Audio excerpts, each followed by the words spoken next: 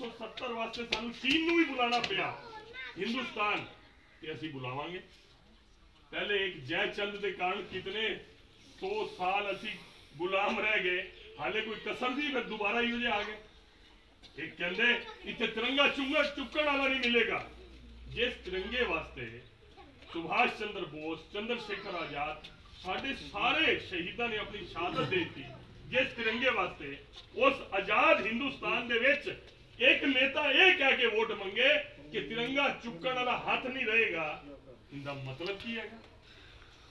आज किसी तरीके बीजेपी नु हराओ, चाहे पाकिस्तान जिंदाबाद करनी पाए, चाहे तिरंगा चलाना पाए, चाहे चीन नु बुलाना पाए, अगर इस सोच के लोगों का साडा मुकाबला है तो फैसला तुसी करना है। तुसी अगर छोटी मोटी गल्ला मैं राज सिंह जी तो नाराज़ हाँ